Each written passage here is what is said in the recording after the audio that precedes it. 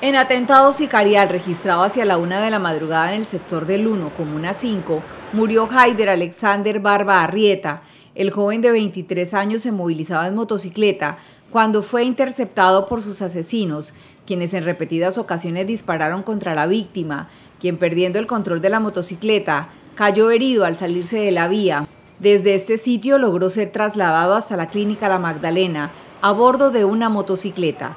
Sin embargo, Infructuosos fueron los esfuerzos por salvarle la vida.